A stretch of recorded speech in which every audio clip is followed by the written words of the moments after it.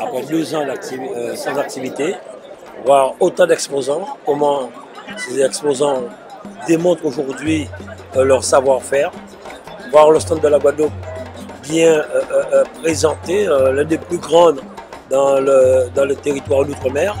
La présence du Premier ministre qui a tenu à remettre à Patrick Célin sa médaille nationale du mérite agricole en public avec le ministre de l'Agriculture de Normandie et de l'Outre-mer. Patrick Célin a tenu à ce que je sois à ses côtés, donc c'est une fierté pour moi. Pour lui, qui fait un travail depuis très longtemps en matière d'agriculture, voir tous nos exposants, de voir le rhum, la présentation du rhum, des ignames, des patates, de tout ce que nous faisons, notre savoir-faire agricole. On a passé des moments très difficiles, mais la vie continue et on le démontre aujourd'hui dans ce salon de l'agriculture.